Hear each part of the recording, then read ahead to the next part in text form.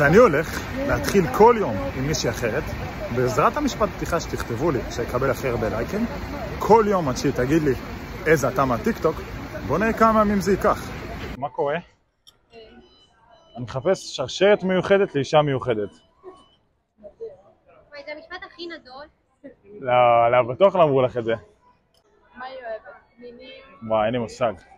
כסף או זהב היא? זהב. רק. שרשרת? מה את אומרת?